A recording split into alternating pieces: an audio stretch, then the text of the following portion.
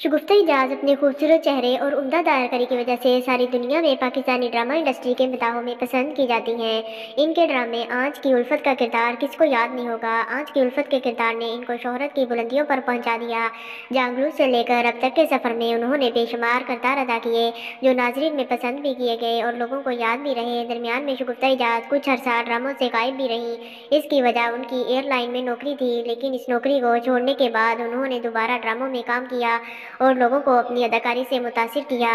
नब्बे की दहाई से हम सब की टीवी स्क्रीन पर राज करने वाली शगुफ्ता इजाज़ के लिए ज़िंदगी फूलों की सेज नहीं थी। इनकी ज़िंदगी में ढेरों उतार चढ़ाव आए, लेकिन उन्होंने हिम्मत नहीं हारी और इन तमाम मसाइल और मुश्किल का मर्दाना वार मुकाबला किया। अपने पहले शोहर से अलीहदगी के बाद उन्होंने अपनी बेटियों के साथ तनहा ज़िंदगी गुजारने का फ़ैसला किया। लेकिन इनके मौजूदा शोहर, जिनसे इनकी दूसरी शादी थी, उन्होंने इनकी ज़िंदगी में दोबारा रंग भर दिए। वो इंतहाई शफीक बाप और बेहतरीन शोहर साबित हुए।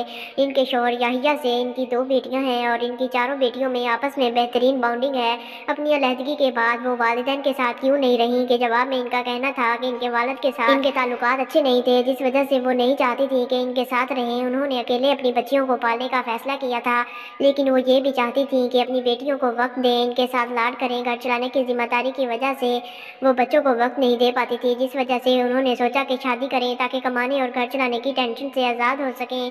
अपने दूसरे शोहर से शादी का फैसला करने में दो साल लगाए और फिर ये फैसला इसलिए किया क्योंकि वो इनकी बेटियों को भी बहुत चाहते थे और शगुफ्ता इजाज़ से भी शादी करके इनको अपने घर में बसाना चाहते थे। इनकी बेटियाँ भी इनको पसंद करती थी तो अपनी बेटियों के साथ मशवरे के बाद दूसरी शादी की और इनका कहना था कि आज मुझे ये लगता है कि ये मेरी ज़िंदगी का सबसे बेहतरीन फ़ैसला था। आज मेरी बेटियाँ भी खुश हैं कि दो की शादी हो गई है, वो अपने घरों में खुश हैं। मैंने अपनी ज़िंदगी में बहुत जदोजहद की है, लेकिन अपनी औलाद को खुश देख कर मैं मुतमिन हूँ। मुझे लगता है कि वो सारी परेशानियाँ, वो सारी जदोजहद काम आ गई है। नाजमी आपको आज की वीडियो कैसी लगी है? नहीं है तो चैनल को सब्सक्राइब कर दें, वीडियो को लाइक ज़रूर कर दिया करें।